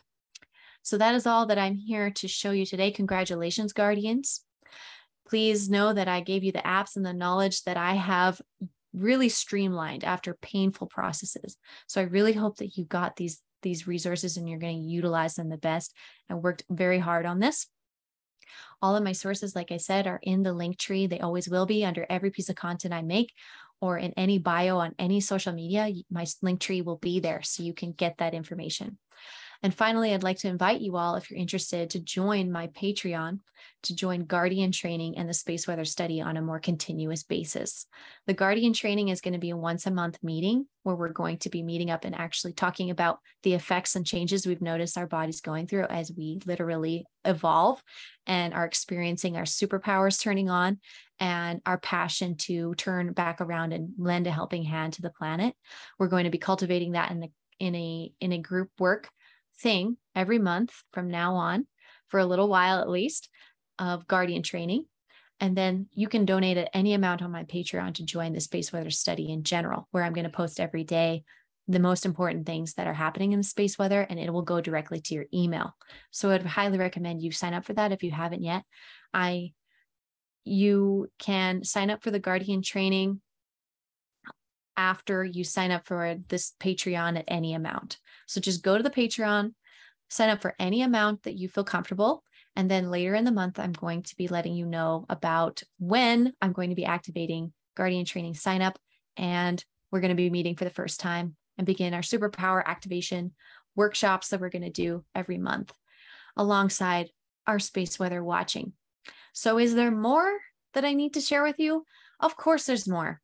We cannot forget about weather, the weather that's stirred up from all this, all of us watching the hurricanes. This is directly impacting, it causes weather and storms to form. Earthquakes are also a major problem that are a part of this, and the volcanoes, of course. So, I'm not an expert on volcanoes and earthquakes, but I would recommend that you go to Dutchsinse on YouTube if you haven't yet and follow him because he is watching earthquake impact He's able to map earthquakes, predict earthquakes based off of previous earthquakes.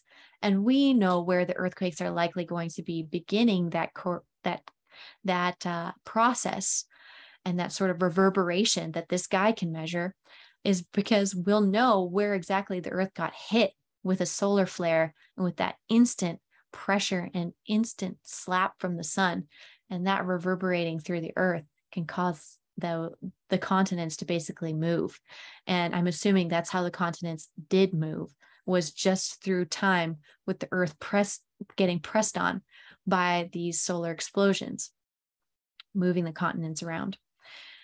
So that is very cool. It does take a long time but we are watching a lot of earthquakes and a lot of volcanoes going on. So much to enjoy later as well and if you were living near any of these locations, like a, a ley line or a volcano, I would recommend you move away from that when uh, before 2025 because i'm assuming earthquakes and volcanoes are just going to increase in their activity up to 2025 as well.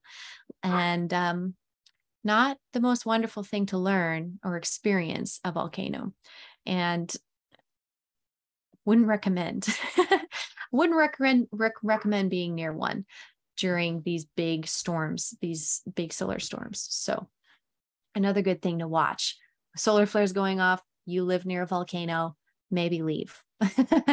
maybe just go in a different direction, especially if it's either on the opposite side of the planet of you that this flare happened. It hit the opposite side of the planet as you and this volcano, or if it's directly impacting you and where this volcano is.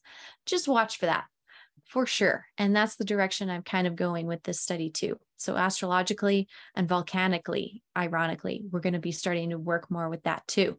So, really exciting. The advancements of this study is going to keep going. I hope that all these tools are helpful. Thank you again for joining my Patreon at any amount, patreon.com slash ascension diaries. So we can keep watching the space weather together. I can keep educating you and inviting you to these opportunities and yeah, we're going to do guardian training, which is going to be so much fun. So we're going to be utilizing utilizing all this information to train to be superhuman. So who doesn't want that? now we are in the question and answer mode of the presentation. Congratulations, everyone. We made it to the question and answer mode. I am ready to field your questions. So go ahead and start asking them in the chat box and I'm going to answer them as harmoniously as I can. All right, so I see a question from Tawny. I have to jump off early. Can you provide some examples you have personally experienced and noticed when the data is blank? I am a practitioner, practitioner and very curious about what you may have noticed within yourself. Ah, perfect. The irony is, I know you're not here, but I'm glad that you came. The irony is, a lot of the blackouts that happen often happen when I am also either trying to teach a class about this, go to a conference and present about this, or there is some other type of large gathering of people that I'm going to be around in the physical. For some reason, that is where my path has led me. The first time I noticed that there was a data blackout on the Schumann resonance in Russia was October 2019 when I was meant to present on it in front of an audience for the first time at a at a conference slash festival thing. So I couldn't even look up the current data of the day I was presenting because it was not there. So that was fun. And it was also a really good example for people to be like, oh, there is some synchronicity to this. There is something going on to this. There is some divine there's a divine hand in all of this motion, which there certainly is. We do naturally orient ourselves with these energies unconsciously. I'm just trying to bring it more to the conscious mind so we can actualize it better. We can work with it better. So that's an example. This last September, there was another blackout for about eight days, the first eight days, I think, of September. So again, data blackout big deal. People were thinking it was going to be 10 days of darkness. They were very excited. It has not ever gone past 10 days of darkness yet. If Russia ever does do that, it'll people will definitely be thinking it's a prophetic situation, even though it's the planet's not going dark. Just that one specific online resource for electromagnetic frequencies is not uploading. It's not that big a deal. But for me, as I've centraled myself around this data, it is a big deal. And some people really do rely on it. So for synchronicity, for synchronicity's sake, very important. Also, again, solar, some of the solar satellites also just go down for maintenance. I've seen that a couple times. And then I watched the Earth not just the solar satellites that are relaying data to us, but the Earth based resources were also going down during that time. And I don't remember what that when that was, but it was this year. I think it was early this year. I saw that happen. I'm pretty sure. Again, super suspicious. I'm sorry I don't have a date on that one, but there's some examples.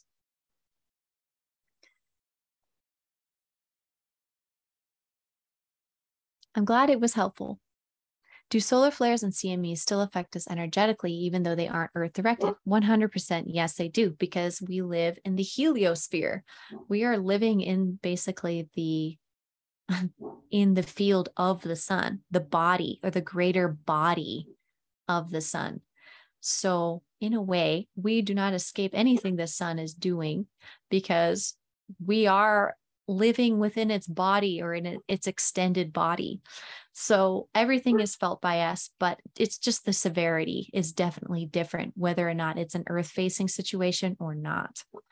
But we feel it either way.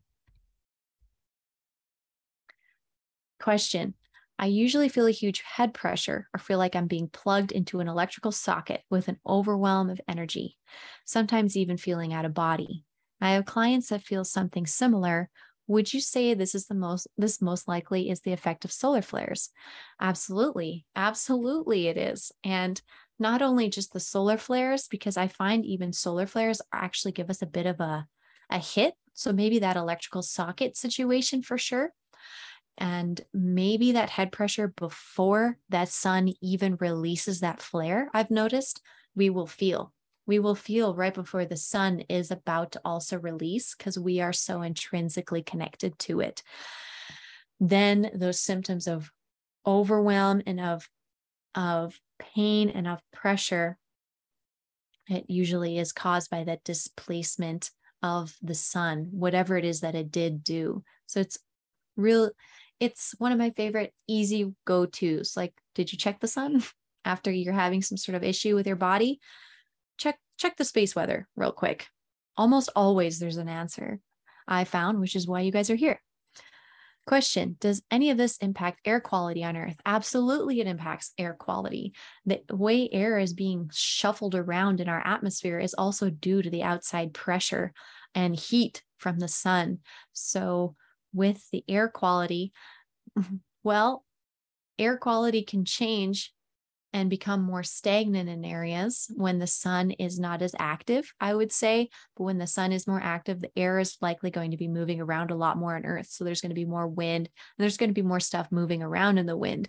May also help with fertilization uh, and spreading of seeds of plants during the solar cycles because there's going to be more actual wind on Earth also being pushed around as from the outside of our Earth, we're getting pushed on by solar wind which is pretty cool.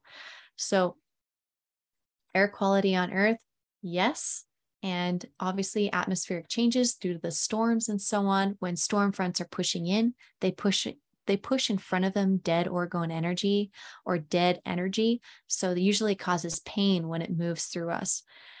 Similar when the the front from the sun is coming through that's why we kind of get a little pain as well before it kind of impacts us. I've noticed it's kind of moving that stagnant energy through our body really fast. It's pushing it through really quick all of a sudden to kind of clear out for the new storm that's about to hit. Has anyone asked these agencies why the data is blacked out? And their responses, yes, they have people people ask them all the time, but there is no responses so far. So go ahead and try. Maybe you will be the chosen one. I would love to know continue continue to try and reach out to them. Most of these resources don't even have much of a friendly interface to contact them with. Surprise surprise. So do what you can. We're all out here really as civilians kind of pushing back up against the intense privatization of knowledge science and workforce i want to say from the civilian place. Question The body feels solar wind at speed at speeds 400 kilometers per second and above. Yeah, it's more so a, whenever it goes above the average, we really start to we start to notice. We for sure start to notice. And there's actually areas on the earth. It also depends on your elevation. I forgot to mention, but elevation is a big deal too. Obviously, the high, the closer you are to the upper atmosphere, the more of that radiation you're going to be getting. So, more intense reactions. So, maybe the solar wind speed going 400 is still going to impact you way more than your buddy who lives at sea level, for example. Question Remineralize. When solar winds are strong and we were in the, in the sun, ah, yes, we are remin- remineralize your body on purpose with supplementing, like getting the water soluble minerals and so on. So you can add that back to your body because when we are processing and moving these charged particles through our body, which eventually make it to our physical bodies through all the layers of our atmosphere and such, it does wear us out. It does burn our calories. It does make us work and process harder. And a lot of what I've noticed that gets processed out the fastest are these minerals and basically our, our electrolytes. So Shilajit is an option for those of you, especially for men. They have an excellent amount of minerals in there. Shilajit, I have a coupon for that for you guys as well in that Linktree area. It's just above the space where the links. You can see the Shilajit. You'll get 10% off for that order. I have to order some more too. Really good for men, especially if you're having issues with testosterone levels and you're kind of feeling a little bit too uh, feminine with your uh, hormones. This will help for sure, kind of get you back on track, but be careful because it really will give you a boost. So, I mean, you're not going to be just growing muscles out of your eye- eyelids, but you're going to be feeling it. So, and with women too. And also be careful because it'll cause your intestines sometimes to just kind of get too overexcited and kind of move everything out. So, it's a good cleanser as well. Um, do try it for the first time when you're at home near a bathroom, is what I'd recommend, and hope that your body will absorb it just you really need very, very, very, very small amounts of the stuff too. It'll last a long way if that helps.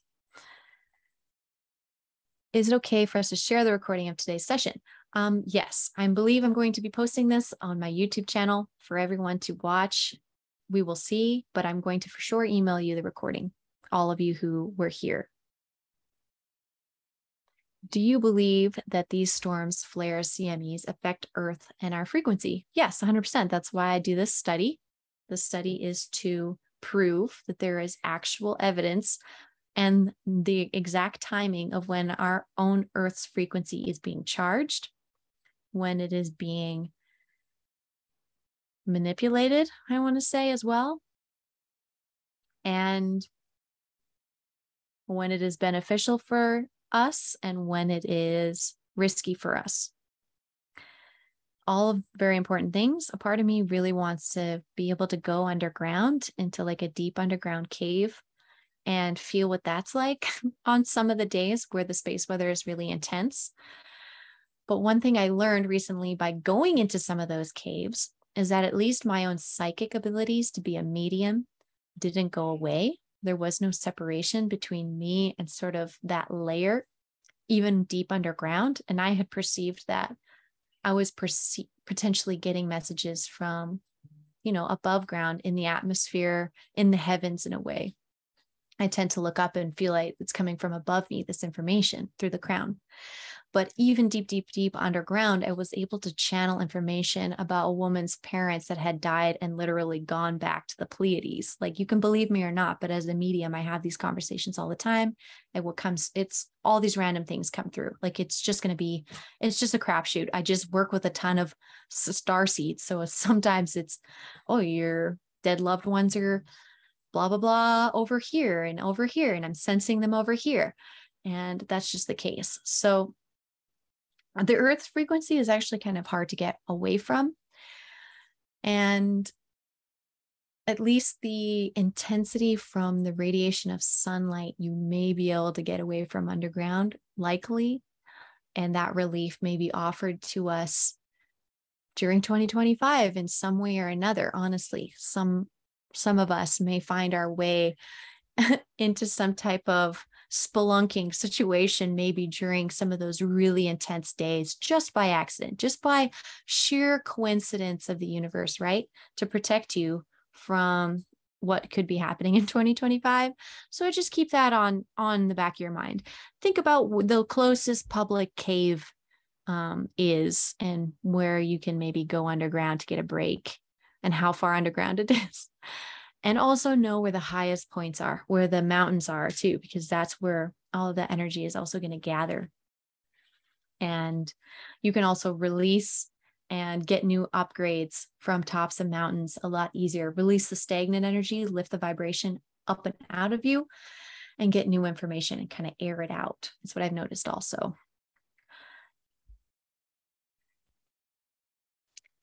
Thank oh, you're welcome. I'm glad that you liked it. I'm I know, I know it was a long one. I'm glad you're gonna watch the recording.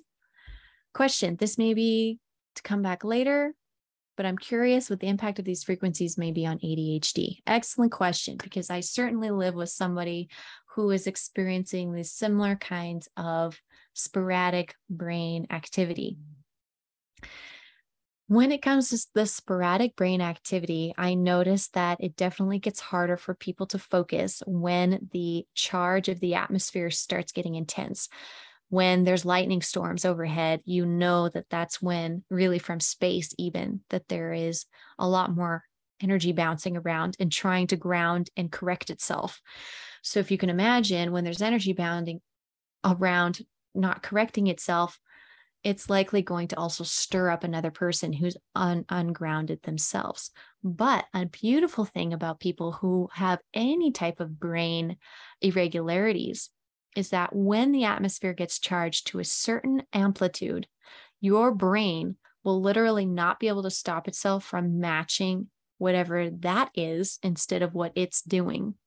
So, anyone with any type of issue with their brain, if the atmosphere all of a sudden gets charged to a 190 amplitude, but in the fourth Schumann resonance or fourth Earth frequency, around you know, 40, 36 hertz.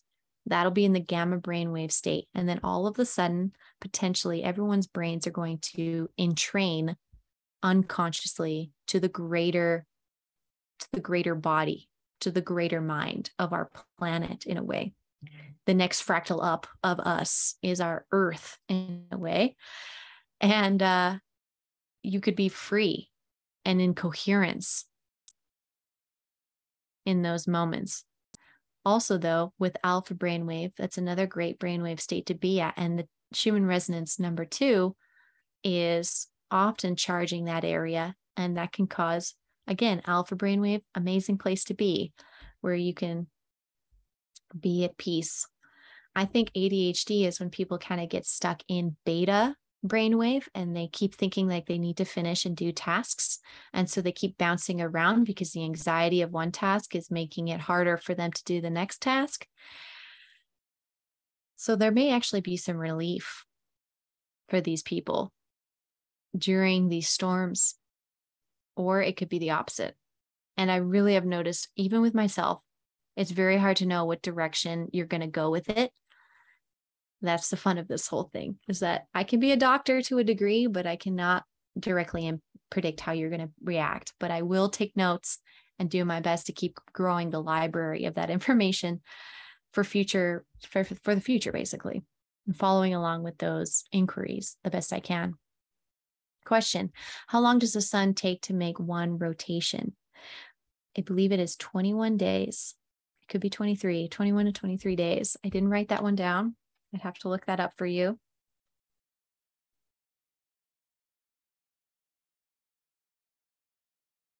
It might be longer.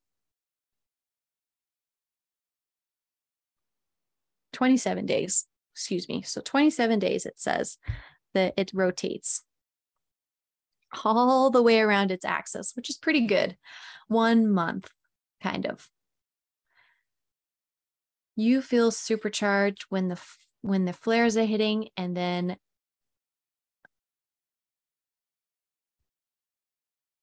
you're not feeling tired during the coronal uh, the CMEs are hitting in the geomagnetic storms, which is interesting. That's amazing. We want people not to be lethargic. That's the goal. So we're trying to kind of find the place of weakness in some people as well. And where I've noticed the place of weakness is this this subtle weakness to these electromagnetic changes. And then see if you can ground more and get your system, your own body's electromagnetic system healthier so you can channel like a copper wire this energy through your body into the earth really easy so it doesn't get stuck in your body. That is key. So keeping yourself like nice salt water, keep yourself keep yourself conductive and get all the heavy metals out of your body, all the plastics out of your body. It will help keep you the most conductive as possible so energy doesn't get stuck in any of your muscles. My energy gets stuck in my right shoulder a lot, my right shoulder blade temple area and um, and that's just because I use that area a lot for writing and for it's my dominant hand. So it's actually an area that I use a lot. And so it actually probably has the most need for repair. So that's why it gets sore. So usually the areas that are causing us the mo- most problems during these storms are areas that are already problem areas and it's just being amplified.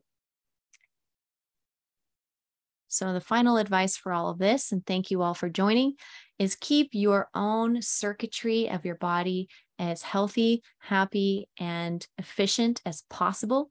There is many, many, many, many, many ways you can do this. Keep up with me on Patreon and so on, and I will keep sharing ways to do this. Reach out, get the resources you need. Just take what I've given you and do what you need. It has been an honor again to hold this space and share this information with those of you who are interested in learning. And I want to thank you all so much from the bottom of my heart for participating in this study with me. It means so much that I can go out in the world and find people to discuss this with, be curious about this, and then pass on the knowledge. Because unfortunately, this was not taught to me in school. And I'm fairly sure most of us is we're in that boat, which is very sad and what inspired me to begin teaching this work after I graduated my psychology degree back in 2015. So it's been a longer haul since then. I gave up those systems in order to actually serve people with honesty and do true research. Unfortunately, those big names are not doing those things. And I saw from the inside, and I now sit proudly and happily on the outside of that crazy, crazy city of official science narrative. And I let them have their thing. And I take the pieces that resonate and I study them and find if they're true. And then I add them to my own study, which is how we have gotten here. Nice to meet you all. I'll see you around. Have a great weekend. I love you. And thanks for spreading the love.